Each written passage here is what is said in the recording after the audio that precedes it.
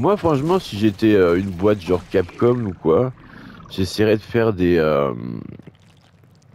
résultats de dragon. Bon, bah, pas mal, pas mal. Résultats de dragon, moi, qu'est-ce que vous en dites? Moi, je trouve que c'est pas mal.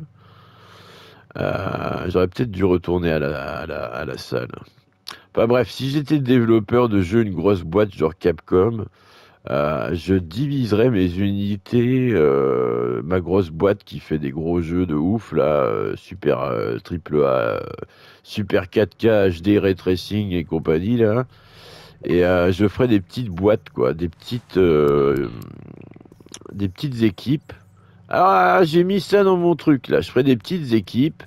Et puis je prendrais les plus créatifs du, du, du lot et je les mettrais en chef d'équipe, un peu comme les mecs de, de From Software ont mis euh, Hidetaki euh, Miyazaki, je sais pas comment il s'appelle, le mec qui a fait les Dark Souls, là, la tête pensante de From Software, qui n'est pas vraiment la tête pensante de From Software, hein, c'est juste un employé qui est super bien vu, mais euh, c'est pas le chef de From Software en fait. From Software, c'est une boîte assez complexe. Voilà, c'est un peu la mentalité japonaise. hein. Alors, qu'est-ce qu'il peut me faire ce truc-là? Enfin bref, je ferai des petites équipes et puis euh, je leur dirai de créer des projets, voilà, les plus farfelus possibles. Euh, voilà, des gros trucs vraiment euh, le plus dingo possible. Vous vraiment vous mettez de l'originalité, voilà, vous essayez de faire un truc dans un budget raisonnable, pas trop délirant au niveau du budget. Et puis voilà, vous laissez les mecs s'exprimer, vous les laissez créer des trucs nouveaux. Et voilà, vous avez le renouveau du gaming euh, en, en six mois, quoi. Et là, vous aurez tout le monde qui dit c'est formidable, c'est génial, euh, qu'est-ce que c'est créatif. euh. Bon, après, les revenus vont peut-être baisser un peu parce qu'il y aura des jeux qui vont pas marcher, puis ça va pas être tout le temps, voilà, la folie, quoi. Il y a certains jeux qui vont aimer être aimés à fond par des petites communautés. Et il y aura plus de gros jeux baveux, genre FIFA de ses morts et tout ça, Call of Duty de ses morts. Même j'allais dire Resident Evil de ses morts, hein, parce que voilà, euh, franchement, depuis le Resident Evil euh, 7, là, Resident Evil, c'est à moitié mort. Ils auraient dû changer de nom, ils auraient dû repartir sur une nouvelle IP. Euh, voilà, euh, c'est ce que je pense réellement. Parce que là, c'est devenu une blague un peu Resident Evil. hein, je veux pas dire, mais euh, c'était vraiment bien avant sur 360. Euh, J'ai pas connu l'époque PlayStation de Resident Evil, mais c'était vraiment super top sur 360. C'était vraiment l'âge d'or un peu de, de Resident Evil. Et là, ils font vraiment euh, n'importe quoi, quoi. Je trouve que ça a aucun sens.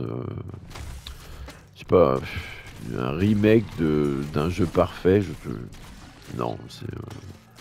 Après, c'est voilà, je pense que le, remake de Resident Evil, là, il est vraiment euh, fait pour les, euh, les gens qui n'ont pas connu le 4, quoi. Pour moi, hein. Ou alors des, vraiment des gens qui euh, aiment, bien la formule Resident Evil 2, 2 remake, quoi, qui aiment bien cette formule-là. Mais moi, je c'est pas du tout mon cas. J'ai vraiment de, j'ai détesté ce jeu-là. Alors quand je voyais qu'il était acclamé par la critique, j'étais un peu euh, ver de terre. Euh, voilà, c'était vraiment, j'étais, euh, j'étais là, mais qu'est-ce qui se passe, quoi euh, Suis-je un boomer C'est comme il y, a des- y a des mecs qui adorent le cinéma, mais tu leur parles de cinéma, ils te parlent des années 70, à la limite 60, 60, 70, 80, 2000 grand max, et après c'est mort, en fait, il n'y a plus rien, quoi. Si une ou deux pépites qui sortent tous les euh, 10 ans, quoi, on va dire, mais les gars se disent euh, fans de cinéma et ils aiment en fait le vieux cinéma, quoi. Et je pense qu'on devrait inventer euh, une nouvelle catégorie de joueurs. Vous voyez, c'est les joueurs qui aiment le, vieux gaming, quoi. Même pas le rétro gaming, parce que ça, c'est une autre par- particularité encore. Mais le- les gens qui aiment bien les jeux de l'époque 360, on va dire, quoi. Vraiment, euh, ce genre de joueurs, voilà, qui aiment l'époque 360. Alors, je peux pas créer ça pour l'instant. Non, hop, on est foutu. Euh, ouais, faut vraiment euh, voilà créer cette, mentalité de joueur là qui kiffe sur le j'y revoir HD là qu'ils ont fait sur Xbox Series S qui est magnifique. J'y revoir 1 et j'y revoir 2 en HD. la version 360, quoi, qui a été mis en, en 4K avec 60 images par seconde. Franchement, c'est trop des bijoux à jouer ces jeux-là, quoi. Après, je vous dis, moi, le, le Giro Voir 3, le, le, 4, le 5, le 6, c'est vraiment de la, c'est vraiment pas terrible. Euh, j'ai détesté ces jeux-là. Même le 3, hein. j'y ai joué vachement au 3, mais c'est parce que j'avais pas trop le choix en fait. Que tout le monde y jouait, quoi. Qu'à l'époque, on suivait la mode du jeu qui était à la mode sur les gyrovoirs. Parce que. Mais même à l'époque du 3, de gyrovoirs, il y avait toujours des joueurs qui jouaient à fond au 2 et au 1, quoi. Je sais pas, le multi de Gyrovoir 1, il a été joué, mais pendant des, siècles en fait. Les mecs, ils sont restés bloqués. Euh, sur le premier J'y revoir. Et même, je trouve que artistiquement, le rendu du premier J'y revoir était beaucoup plus beau que le rendu du 3 avec tous ses couleurs, ses dégradés, c'est c'est euh, tout ce côté un peu euh, bling bling quoi. Euh, parce que c'est la même puissance, hein, la 360, c'est une console assez puissante. Mais bon, voilà, tu peux pas non plus faire des, merveilles de merveilles, dépasser un stade, quoi. Et je trouve qu'avec euh, Voir 1, ils avaient mis beaucoup de puissance dans des petits détails. Et ça faisait que le jeu était particulièrement beau. Et euh, voilà, il avait une patte euh, vraiment extraordinaire. Et puis après, comment ça s'appelle dans le, le Revoir euh, Alors c'est quoi ce boss là, de folie là Dans le Revoir... Euh... comment c'était le 3 là ah, c'était plus du tout la même chose, C'était vraiment. Euh, par contre, j'étais complètement perdu dans mon discours par euh, ce boss à moitié horrible. Alors, ah, ces saloperies de verre qui sont par terre. Bon, je suis mort, je suis mort. Mais ça va, le jeu est sympa. Euh, le jeu est cool. Alors, je sais plus du tout ce que je disais. C'était très intéressant, mais vous aurez pas la fin. Euh, ah ouais, je parlais du rendu de graphique, quoi. oui, voilà, c'est ça, c'est que le rendu graphique, ils ont fait le Gyrovoir 1 en version Xbox euh, Series S, un peu le Xbox euh, New, le New Gyrovoir 1, quoi. Et je trouvais que c'était d'une laideur. Ok, c'était. Comment dire c'était beau, c'était voilà, c'était mieux fait que le, c'était techniquement c'était mieux fait, mais artistiquement, c'était moins bon. Je veux dire, euh, le jeu paraissait moins violent, les héros avaient des têtes de nounours. Marcus Phoenix dans le, le, le, le 1 remake, là, c'est pas remake, mais remaster, ou je sais pas, euh, si remake, pas un remake. Mais il avait une tête de nounours, il avait plus du tout la tête qu'il avait dans Zero 1, cette espèce de, comme j'avais dit l'autre fois, de Clint Eastwood, Schwarzenegger, rien là espèce de, de, héros américain ultime. Euh, à l'époque, ils n'avaient pas, euh, pas peur du tout de mettre ce genre de perso en avant. Et euh, voilà, c'était vraiment Marcus Phoenix. Et, je crois que c'est le dernier héros purement américain qu'on ait eu de qualité, quoi. Vraiment avec ce sens quand même de la, de la désobéissance parce que c'était un mec quand même qui euh, on, le rencontre au début il est en tol quoi. C'est pas c'est pas le héros qui vient de, sauver tout le monde. C'est le héros qui a fait des conneries pour sa famille quoi parce que sa famille passait avant euh, la mission quoi et que ça se fait pas dans l'armée quoi. Donc c'était déjà dès, dès le départ on avait un rapport avec Marcus Félix de d'admiration quoi. Le, mec a carrément lâché son taf et euh, sa mission principale pour aller sauver son père. Enfin c'était le, le, le, fond du discours est super euh, super euh, propre quoi. C'est vraiment après c'est le genre d'histoire de mec quoi. C'est voilà c'est des histoires de bonhomme un peu l'histoire du père et tout le rapport le rapport fils père c'est un truc compliqué pour nous les hommes. Après, on n'en parle plus du tout, c'est plus du tout à la mode de parler de ça. Voilà, les pères sont plus à la maison.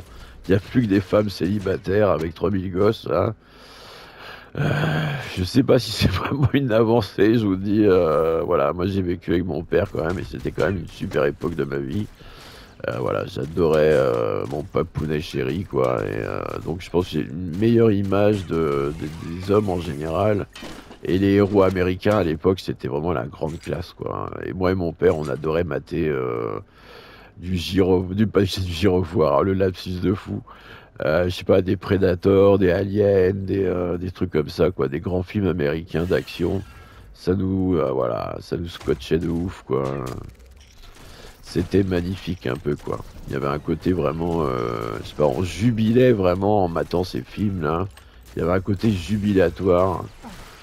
En plus, les répliques, allez, maintenant ça fait cliché, quoi, mais quand à l'époque, Schwarzy, il faisait ses répliques de dingue et puis euh, il tuait des gens et tout. C'était vraiment trop bonnard, quoi. Je sais que ça fait blaireau de dire ça. Enfin, je trouve ça vraiment stupide de dire que ça, ça fait blaireau, quoi. Parce que c'était vraiment une époque où euh, la jante masculine euh, était plus heureuse, quoi, que maintenant, où elle est perdue dans ces espèces de d'influenceurs euh, euh, pro de la drague et compagnie qui sont des purs crétins, je trouve. Parce que comme chaque femme est différente, chaque femme doit être draguée différemment.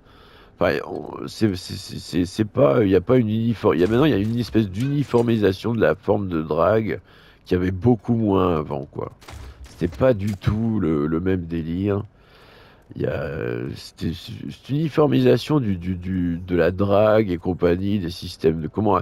C'est pas un, animal la femme quand même. Je veux dire, on est des êtres humains quoi. C'est pas euh, genre t'appuies sur A puis après tu fais B et hop tu l'as dans ton lit quoi. C'est pas. Euh, c'est quand même plus plus profond que ça quoi. Les relations humaines quoi. Je sais pas comment on a pu euh, arriver à un délire de drague aussi débilistique.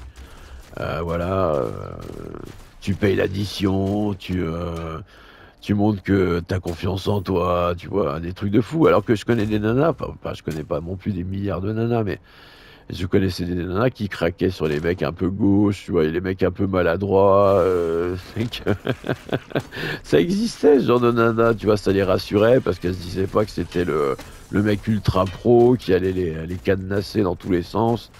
Euh, voilà, c'est euh, la mentalité féminine, c'est complexe. Enfin, c'était complexe, quoi. Maintenant, on est, on, essaie de, tout euh, simplifier à l'extrême dans tous les domaines, quoi. Il n'y a pas que les hommes, parce que là, je parlais de, de ce que je connais, quoi. Après, je suis pas une femme, donc je connais pas non plus tout les rapports mère-fille. C'est un truc complexe aussi. Alors, le robot, j'ai pas envie de le prendre tout de suite. les rapports mère-fille, c'est super complexe. Voilà, on a un peu mis tout ça euh, en retrait. Maintenant, c'est vraiment trop la guerre euh, avec le côté lesbien euh, qui déteste les mecs. Et en plus, les gays du côté mâle, franchement, quand tu leur parles de nana et de, de foufoune, laisse tomber. C'est attention, attention, surtout ne parlez pas de foufoune à un vrai gay.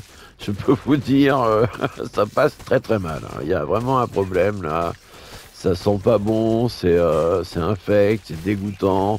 Ah, vous, ça, ça, moi, ça m'étonne de fou, quoi. Mais euh, voilà, c'est c'est comme si tu demandes à un hétéro pure base d'embrasser de, de, un garçon, il va avoir une, espèce de révulsion. Enfin, ça va le, le oh non, quoi, c'est impossible, tu vois, quoi.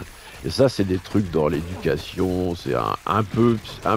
Au début, je discutais avec un pote à moi qui est, qui est homo, quoi, et puis. Euh, je disais mais non, ça vient des gènes, euh, tu choisis pas et tout. Et en réfléchissant bien, parce que lui il me disait totalement l'inverse, euh, il me disait que non, c'était l'éducation, de ce que tes parents t'avaient fait apprécier et tout. Euh, ça pouvait jouer sur ton orientation sexuelle et tout. Et je sais, d'un côté, je me disais qu'il devait avoir une part de vérité dans les deux, quoi. Je me dis qu'il doit avoir un petit côté génétique, c'est-à-dire qu'on a des trucs qu'on aime ou on n'aime pas, quoi, de base, quoi. Ah tiens, un nouveau ennemi Oh bah dis donc C'est chouette ça, un nouveau ennemi, il était temps, là, bah, euh, on, va aller à la, on va aller à la machine, parce que là, je suis, je. Donc je pense qu'il y a un peu des deux, quoi. Un côté euh, génétique, vraiment, où... Euh, ah, mec, bah, oh, bah, je suis revenu à la maison. Ah bah ça, c'est beau, ça. elle est où la machine maintenant? Elle a réapparu là, le hub central, d'accord. Euh, alors moi j'étais parti dans les trucs de gay, de, Enfin bref, je sais plus trop ce que je disais, mais en gros, l'être humain est beaucoup plus compliqué qu'on veut nous le faire croire maintenant, quoi. Euh, il y, a des, y a des centaines de nuances dans chaque personne. Chaque être humain est un espèce de de livres indécryptibles, indéfinissables. Il y a des, des, nuances à tous les niveaux. Euh, on prend un mot, par exemple, je sais on va dire la joie. Vous prenez le mot la joie. Ben, certains, la joie, ça va être, euh, ça va être le, le, le fait de, rigoler entre amis. Pour certains, ça va être le fait d'être amoureux d'une fille. Pour certains, euh, ça, peut être des dizaines de trucs, des dizaines de variations, des dizaines de concepts différents pour un mot. Euh, voilà. Alors, euh, imaginez un être humain rempli de dizaines de mots, quoi. Euh, au niveau complexité, on a atteint des levels assez sidérants, quoi. Donc vraiment, vraiment, c'est pas du tout un truc simple, hein, l'humain, pas du tout. Alors j'ai repris mon bœuf qui me donne 32 vies, ça c'est beau ça. Allez, redonnez-moi des bœufs, là. Moi, je veux des bœufs dans tous les sens. Voilà, les petits vers de terre, vous n'allez pas me la faire à l'envers, là. Il faut arrêter avec cette simplification de l'être humain. Pareil, la gauche, la droite. Tout le temps, euh, le côté binaire des choses. Soit c'est de gauche, soit c'est de droite. Jamais euh, un truc un peu au milieu, quoi. Euh, un peu prendre le bon de chaque côté et puis essayer de faire sa tambouille avec, quoi. Que chaque ça, c'est vraiment, euh, je pense, c'est un problème d'Internet, hein, de, vraiment avoir simplifié tout, un peu comme si euh, votre façon de penser pouvait être résumable à une euh, demande Google, quoi. Je dis pas ça contre Google, mais on pouvait résumer les humains à des cases et, et c'est vraiment, mais contre-humain, mais vraiment totalement contre-humain, quoi. On est vraiment tout. on est un peu des machines biologiques, mais vraiment des machines biologiques d'une complexité incroyable, quoi. Vraiment. Euh, par exemple, si vous prenez la machine là qui avait battu Kasparov au, jeu d'échecs, non pas celle-là, celle qui avait battu au jeu de Go le, chinois ou le japonais, je ne sais pas qui c'est qui joue au jeu de Go. Mais en gros, la machine, pour fonctionner, elle utilisait genre 400 ou je sais pas, euh, non, même peut-être 1000, 2000, 3, 4000 watts. Voilà. Et euh, le gars en face qui a perdu, lui, pour fonctionner, il utilisait euh, son cerveau, c'est-à-dire euh, une dizaine de watts, grand max, quoi. Je sais même pas combien ça fonctionne au cerveau, mais euh, voilà, c'est pas beaucoup. C'est une toute petite, voilà, c'est une petite, ouais, c'est quoi, je sais pas, 6 watts, un truc comme ça. Donc c'était du 6 watts qui se battait contre du 5000 watts. Et voilà, le truc a, galéré à battre le 6 watts alors qu'il utilisait 5000, quoi. Euh, donc voilà, ça, prouve bien la complexité du cerveau, euh, vraiment. Euh. Après, voilà, c'est pas non plus. Il y a des différences de complexité, mais bon, on est toujours, on est toujours. Même les gens les plus simples sont assez complexes dans le fond. Et voilà, ça c'est aussi un truc. Le, moi, le truc qui m'énerve, c'est le truc des QI. Comme quoi, les gens qui auraient des bas QI auraient vraiment des des limitations au niveau de la pensée et tout. Je trouve que c'est tout sauf vrai, quoi, parce que voilà, je connais des gens qui sont pas forcément, on va dire, euh, super malins, alertes, vous voyez le délire, quoi. Et ben pourtant, ils ont des délires des fois, mais super profonds, super euh, que j'ai pas, quoi.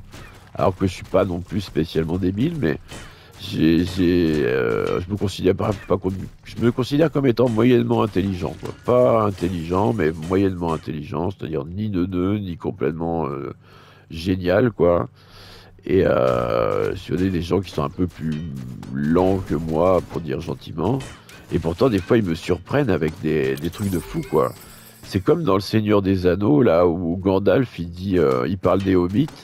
Et dit, vous les hobbits, on peut tout apprendre de vous en un jour ou deux, et vous nous surprenez toujours au bout de, de, de, de 200 ans, quoi. Et c'est vraiment bien ça, l'humain, quoi. C'est le hobbit, l'humain, quoi. Dans, Le Seigneur des Ados, les vrais humains, c'est les hobbits, quoi. C'est, euh, voilà, des gens avec des, trucs assez simples, mais avec une profondeur de caractère et d'esprit, voilà, qui, euh, qui fait pâlir de jalousie les, les meilleurs IA de la planète. Voilà, je vous le dis, les IA sont jalouses de nous. Je le sens, moi, quand je discute avec elles. elles nous admirent toujours à fond, quoi. Après, je délire un peu, mais j'aime bien les IA. J'adore bosser avec les IA, surtout quand je crée des images. Après, je sais pas ce qu'ils lui ont fait à l'IA avec laquelle je bosse pour les images, mais elle était mieux au début. Ils lui ont mis un peu trop de restrictions, là. Elle peut plus faire de morts vivants. Il y a des trucs qu'elle a plus le droit de faire. Tu vois, c'est un peu casse-couille. J'ai dû euh, télécharger d'autres euh, d'autres générateurs d'images parce que celles que j'avais au début, je vais pas dire les noms pour pas leur faire de mauvaises pubs. Mais euh, j'utilisais une qui était vraiment cool et du jour au lendemain, certains trucs ne passaient absolument pas. Et voilà, moi je cherche vraiment le générateur d'images free. Si tu lui demandes de dessiner un vampire gay qui, qui fait des erreurs incroyables, je veux qu'il me fasse l'image quoi peux pas du tout être euh, euh, obligé de faire le type d'image que le, créateur du générateur d'image a décidé que j'avais le droit de faire. C'est parce que ça, c'est pas du tout ce que j'appelle de la génération d'images. Alors vraiment pas quoi. Euh, alors là, je suis en train de me dire que je pars dans tous les sens au niveau, ça discute, ça discute, mais le jeu se laisse jouer quoi. Alors ça c'est, alors j'ai entendu parler de ça. Alors ça, c'est un truc qu'il faut que je démarre et que je le protège. Mais comme j'ai pas mon petit robot, eh ben je peux pas le faire. Donc je suis foutu, il faut que je meure et que je reprenne le robot, que je le défende, que j'arrive à lui donner de l'énergie. Euh, on va essayer de trouver la machine qui fabrique les euh, qui fabrique les, euh, les microprocesseurs pour améliorer mon perso. Je vais essayer de faire ça au moins dans la game pas perdre tout mon loot. Alors, parce que quand on revient en arrière, en effet, on tombe dessus. J'ai l'impression que ça se génère au fur et à mesure les, cartes. Euh, bon, je passe un peu du coq à l'âne, mais c'est vrai qu'à la base, je joue à un jeu, donc... Euh, mais bon, j'aime bien comme ça, par divaguer un peu. Ça fait du bien de divaguer, euh, de laisser son esprit vaquer ah, penser à plein de trucs et euh, l'exprimer par oral. Je trouve ça de plus en plus agréable. Et puis le fait de maîtriser le langage, de, de mieux euh, gérer sa façon de communiquer, je trouve ça super intéressant. Après voilà, ça peut être super pas intéressant. Vu le nombre de vues que je fais, ça doit pas être très intéressant. Mais pour moi c'est cool, donc voilà, c'est ce qui compte. Hein. Faut toujours faire des trucs pour soi avant de faire des trucs pour les autres. Euh...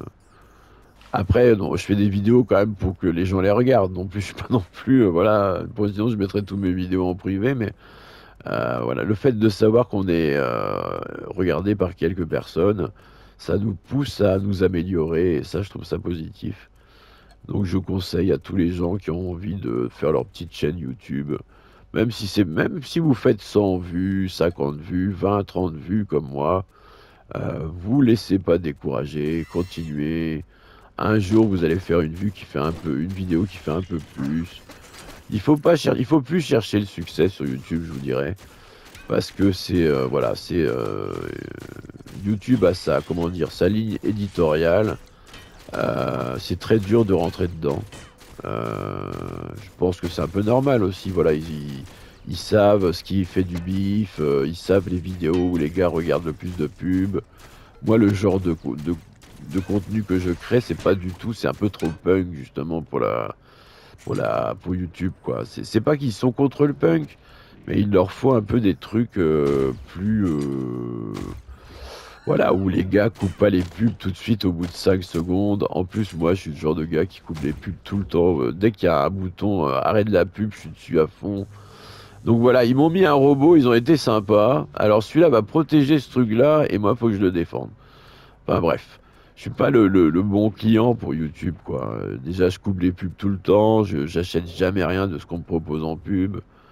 Donc forcément, euh... forcément, c'est pas bon, quoi. Euh... Alors, t'as fini là, mon petit robot là? Alors, vas-y, occupe-toi de ça. Là. Faut rester appuyé dessus ou quoi? Ah non, ça c'est pour recharger le robot. D'accord, j'ai compris. Donc il faut pas aller trop loin, quoi. Il va y avoir sûrement un boss, là. Alors, il est où le boss? Voilà, voilà, voilà. Un bien rapide. Je commence à capter le jeu. Il est sympa, le jeu, franchement. Il coûte 40 centimes, en plus. Franchement. C'est le jeu de détente, quoi. C'est pas le jeu qui va vous prendre la tête. Il y a un peu de skill, un peu de, de, de phase d'esquive, vous voyez. Le joueur esquive comme ça, tranquille. Attends, on va prendre un peu de munitions, euh, des grosses munitions. On va essayer de bien le viser.